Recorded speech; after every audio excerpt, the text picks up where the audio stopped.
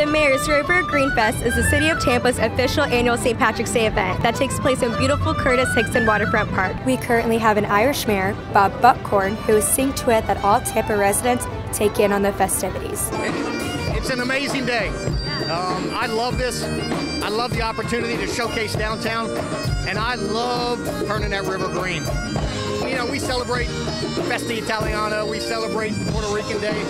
This is an opportunity for those of us of Irish descent to celebrate St. Patrick's Day, and more importantly, to bring another event downtown to uh, showcase this amazing river.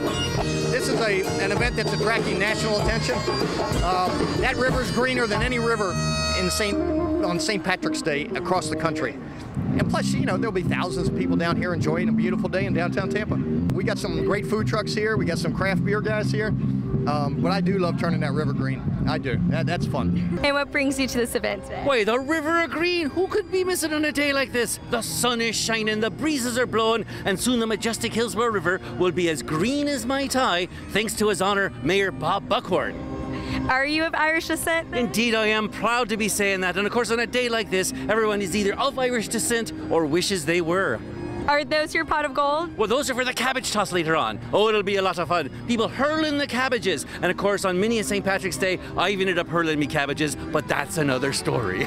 The main event of this celebration is the magical transformation of the Hillsborough River to a bright shade of Kelly Green, which provides the perfect scenery for the live entertainment, food trucks, games, and more. All right, well, we dye the river from the Kennedy Boulevard Bridge all the way to the Cass Street Bridge, and um, we just um, use a, a, tube to put the dye down into, and then we stir it up with a couple boats behind that, and um, we just keep trying to stay ahead of the tide, because right now it's an incoming tide, so we uh, dye the river around the Kennedy Bridge and let the tide do the rest of the work. The dye is um, non-toxic to aquatic life and it's biodegradable and um, it's uh, it's safe uh, and it's used for uh, plumber's dye or in potable water. So uh, it's also used as a tracer dye for emergency rescue out, out at sea. Tampa is bigger and better. We're uh, three times the size of Chicago's river, and we're tidally influenced, so we have to keep at it all day long, so it makes it a lot more difficult.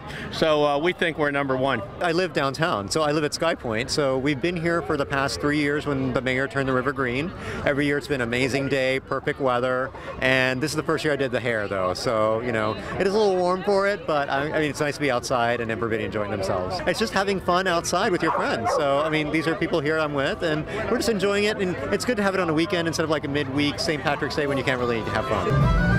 This day-long festival celebrating all things Irish is the perfect outing for family and pets. Admission is free, although attendees are encouraged in the spirit of St. Patrick to bring food items to donate. Reporting for Spotlight Tampa, I'm Kelly Gonzalez, and happy St. Patrick's Day.